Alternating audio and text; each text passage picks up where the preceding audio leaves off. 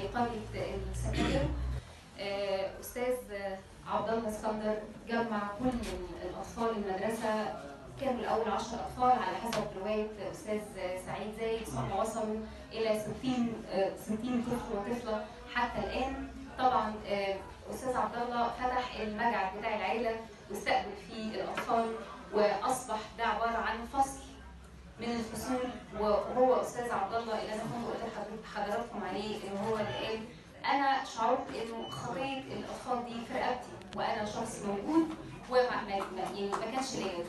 فيشرفنا ويسعدنا أستاذ عبد الله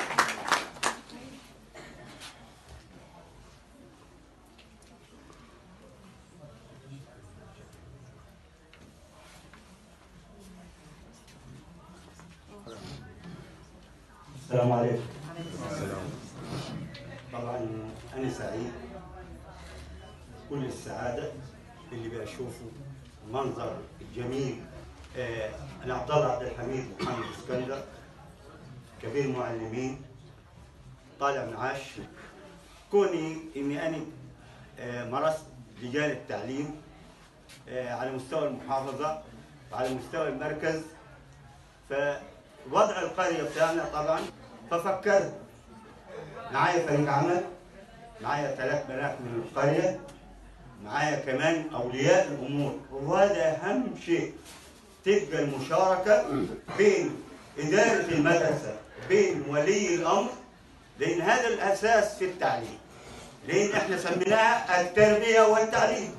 سميناها التربية والتعليم. لازم يبقى دور لولي الأمر. وهذا بناشد بيه من من المكان المحترم. لازم أشوف ابني آه، بدأنا ب 12 عيل. يمكن الناس دعمتنا أهل الخير. بارك الله فيهم وجزاهم الله خير. عبرونا أقل حاجة عبرونا. وشجعونا في نفس الوقت. بدأنا ب 12 عيل تعليم القراءة والكتابة. كملنا إجت المرحلة ال- الإعدادية. أصبح الحين لغاية امبارح 75 طالب موجودين. والله جبت الطبلية اللي باكل عليها.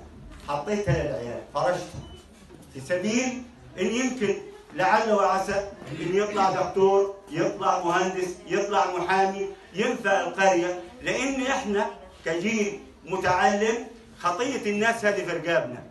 خطية العيال هذه في رقابنا. ما اهملش أي طالب ما اهملش أي عيل.